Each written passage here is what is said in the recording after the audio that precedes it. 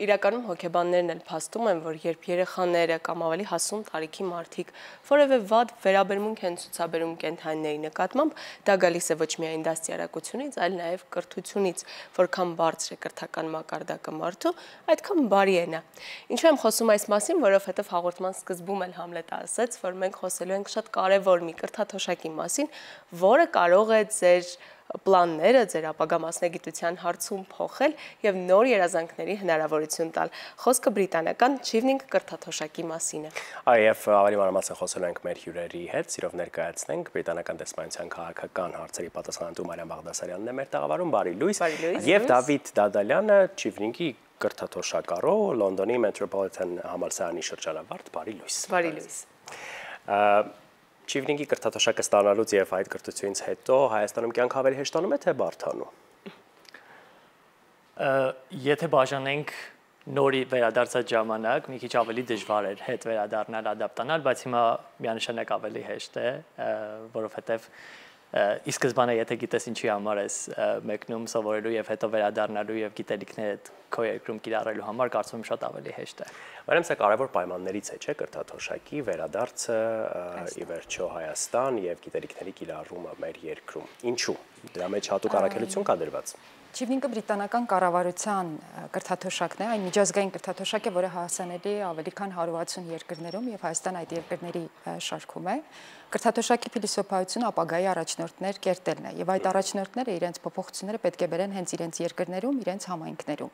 Այսինքն բրիտանական կառավարությունը ներդրում է կատարում ապագայի առաջնորդների կրթության, հմտությունների զարգացման գործում, որpիսի իրենք իրենց լավագույն փորձը, գիտելիքները եւ հենց ձեռք բերած հմտությունները կիրառեն այդ երկրում եւ նաեւ դառնան ինչու՞ չէ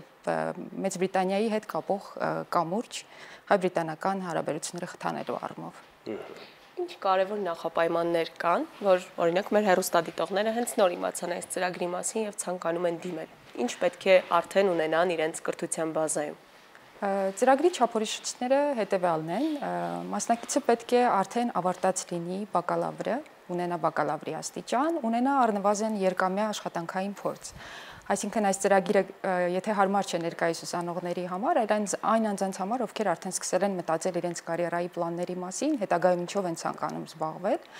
Նախկինում պետք է մասնակիցը երբևէ արժանացած շիլնի որևէ կրթաթոշակի բրիտանական կառավարության կողմից,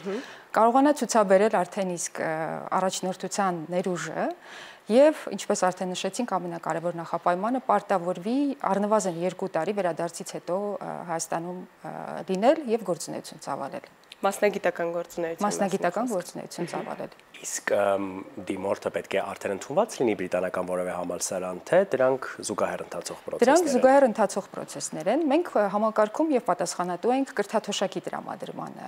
առումով, իսկ ընթացքում դիմորդը հնարավորություն ունի դիմել 3 բրիտանական բուհեր, որպիսի իր հնարավորությունները մեծացնի եւ այնտեղից ստանա առնվազն գոնե մեկ առաջարկ, եւ զուգահեռ կրթաթոշակի դիմելու գործընթացին սկսում է նաեւ 3 բրիտանական բուհեր ընդունվելու գործընթացը։ Բրիտանական բուհ ընդունվելու համար բնականաբար արդեն իհայտ են գալիս այլ չափորոշիչներ, ինչպիսին են լեզվի իմացությունը, IELTS վկայականները եւ այլն։ Դավիթ, ձեր դեպքում ինչպես է եղել։ Արդեն ընդունվել եք համալսարան մինչև Չիվնինգին դիմելը, թե Զուգահեռ էին։ Զուգահեռ։ Զուգահեռ գործընթաց, ինչպես Մարիամը ներկայացրեց, բավականին իրականում երկար ժամանակ ունենք դա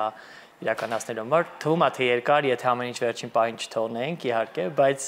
կարծում եմ այն ժամանակը, որը որ Chimning-ը տալիս է դիմորդներին, բավարար է, որպեսզի հասցնել նույն լեզվի քննության համար նախապատրաստվել համասարանները դիմել եւ այլն, բայց նաեւ կարծում եմ շատ կարեւոր կլինի դիմորդների համար գոնե դիմելու ընթացքում արդեն իսկ պատկերացնել թե ինչ համասարաններ, ինչ ֆակուլտետներ, ինչ ծրագրեր են ցանկանում դիմել, որպեսզի ավելի հեշտանա, երբ որ ի սկզբանե ավելի երկար ժամանակ ես պլանավորում, հետո ավելի հեշտ է լինում գործընթացը։ Կարծում եմ ժամանակահատվածը բավարար է, իմ դեպքում հերիքել է։ Դուք որ ոլորտն եք ընտրել։ Ես առողջապահությունից ավելի տեղափոխվել եմ սոցիալական պաշտպանության համակարգ, կլինիկական առողջա առողջապահական, հա, առաջինը բուժական գործ, այսպես ասած մասնագիտություն ունեի, բայց ընթացքում հասկացա, որ ավելի շատ ուզում եմ հանրային քաղաքականության, սոցիալական պաշտպանության ոլորտում նաև աշխատել, եւ այդ պատճառով նաև նպատակներից մեկը այն էր, որ գտնեի որևէ մի համասարան եւ կուրս, որը որ կմիավորեր եւ առողջապահությունը եւ սոցիալական պաշտպանությունը, եւ կարծում եմ, որ բրիտանական բուհերի ամենա ամեն դեպքում ինձ համար կարևոր բաղադրիչներից եւ փաստից մեկը այն է, որ կարող ես ընտրել ինչպես այսպես հատվող կուրսեր, այնպես էլ երբ որ քո առարկաներն ես ընտրում սովորելու ընթացքում ավելի ադապտացնել քո հետաքրքրություններին, քո նախասերություններին կամ ապագա պլաններին։ Մենք երբ խոսում ենք արտերկրում ուսանելու մասին, շատ հաճախ բաց ենք թողնում այն փաստը, որ արտերկրում ապրելով նաև նոր մշակույթի կրողն եք դառնում եւ վերադարձը հայրենիք, ինչպես ամենասկզբում նշեցիք, սկզբում շատ դժվար էր ադապտանալը նորից այստեղ։ Ինչ գիտելիքներ, փորձ կա, որ այնտեղ ամեն ինչ ավելի լավ էր եւ հիմա է դուք փորձում եք այստեղ մեր այդ մշակույթում ձևավորել։ Կարծում եմ կարող եմ մի քանի փուլերի բաժանել, հա, ամենակարևորը մշակութային եւ ակադեմիկ նաեւ, ակադեմիկ գերազանցությունը որպես այդպեսին, թե ինչպես է դու սովորում նաեւ նոր կրթական ակադեմիկ միջավայրում դրսևորվել, ինչպես է նայում օրինակ հետազոտություններին, ավելի, այսպես ասած, մասնագիտական աչքով ես նայում մի շարք բաների, որոնք նախկինում գուցե այդքան կարևորություն չտաս, բայց մշակույթը, մշակութային բաղադրիչը կարծում եմ ոչ պակաս կարևոր է, օրինակ իմ դեպքում մեկ տարուց ավելի Լոնդոնում աշխարհի ամենաբազմազան քաղաքներից, եթե ոչ ամենաբազմազանում ապրել է, կարծում եմ ամենա հետաքրքիր փորձառություններ տալիս ոչ միայն բրիտանական մշակույթին ծանոթանալու առումով, այլև նաև աշխարհի տարբեր երկրներից հավաքում են տարբեր մշակույթերի, լեզուների եւ հետաքրքրությունների տեր մարդիկ, նրանց հետ նույնպես շփումը շատ կարեւոր է։ Ինձ համար նաև ամենակարևորը, որ շատ կարոտում եմ հիմա, դա այգիները եւ անվճար թանգարաններն են, որոնք բնականաբար էլի շատ հետաքրքիր էին եւ ժամանակի ընթացքում ազատ ժամանակը շատ հետաքրքիր լցնելու հնարավորություններ ունես։ Ինչպես եք ձեր գիտելիքները կիրառում հիմա հայրենիքում, արդյոք ոլորտում եք աշխատում եւ ինչպես է հետագա կյանքը դասավորվել։ Այժմ աշխատում եմ UNICEF-ի հայաստանյան գրասենյակում սոցիալական պաշտպանության ոլորտում միանշանակ կարող եմ փաստել, որ այն գիտելիքները, որը ձեռք են բերել Մեծ Բրիտանիայում կրթության ընթացքում կիրառում եմ այժմ վերջին շրջանում նաև տեղահանված բնակության հետ երեխաների հետ աշխատանքում ինքսի մեջ նաև զգում եմ այն փոփոխությունները, որը որ ավելի մասնագիտորեն, ավելի նուրբ, ավելի կարիքներին համապատասխան աջակցություն են կարողանում ցաբերել, որը նախկինում գուցե այդքան էլ ուշադրություն կամ կարևորություն այդ ժամանակ չտաց, բայց հիմա հասկանում ես, որ կան ավելի նուրբ բաղադրիչներ հատկապես ավելի խոցելի բնակչության հետ աշխատանքում, որը հավելյալ ուշադրության կարիք ունի աշխատում եմ ոլորտում, հետագա պլանները նույնպես պլանավորում եմ աշխատել եւ շարունակել աշխատել եւ կարծում եմ հենց կրթությունս այդտեղ շարունակելու համար բավականին նաեւ վերադառնալու համար բավականին լավ միջավայր եմ վերադարձել։ Մարիամ, քանի հոգի է մոտավոր, եթե կա իհարկե վիճակագրություն դիմում սորաբար տարեկան կրթաթոշակին եւ քանի հոգի է ստանում կրթաթոշակը։ Այս կրթաթոշակը շատ մրցակցային է։ Հայաստանից սովորաբար ունեն մենք մինչև 300 դիմորդներ, բայց այն երջանիկները, ովքեր կարողանում են մեկնել, ընդամենը մինչև 10-ն են։ Դա ամեն տարի կախված է ֆինանսավորման քանակից եւ թե ինչ բուհերում իրենք կհայտնվեն։ Օրինակ այս տարի մենք ունենք ավելի փոքրատիվ քանակով շրջանավարտներ, բայց նրանցից երկուսը սովորելու են Օքսֆորդի համալսարանում։ Հրաշալի է։ Իսկ ոլորտային նախապատվություն կա։ Ոլորտային որևէ նախապատմություն նախապատվություն չկա, որևէ բացառություն չկա, միակ բացառությունը թերևս ռազմական ոլորտում կրթություն ստանալն է։ Այս տարիների ընթացքում մենք ունեցել ենք ֆուտբոլից մինչև մարդու իրավունքներ, բիզնես, ֆինանսներ, այնպես որ որևէ սահմանափակում այս փուլում չկա։ Վերջին տարիներին մեծ է հետաքրքրությունը բնականաբար արհեստական բանականության, տեխնիկական ոլորտների նկատմամբ եւ մենք խրախուսում ենք դա։ Իսկ այդ դեպքում ինչն է կարևորվում։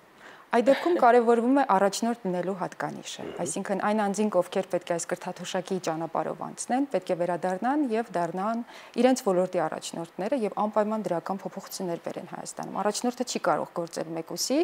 Երկրորդ կարևոր պայմանը, որ այդ անձը կարողանա նաև կապեր հաստատել եւ այդ կապերը կարողանա հետագայում օգտագործել։ Անձը պետք է կարողանա նաև ինքն իրեն մոտենալ ինքնակնդադադաբար, կարողանա բացահայտել իր գիտելիքների հմտությունների բացերը եւ հենց այս փուլում, երբ դու լրացնում ես քո դիմումը, հստակ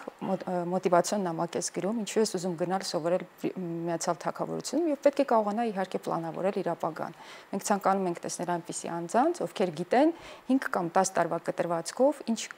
գործունեությամբ են զբաղվելու եւ այդ գործունեությունը ինչ ազդեցություն է ունենալու իրենց համայնքներում կամ երկրներում։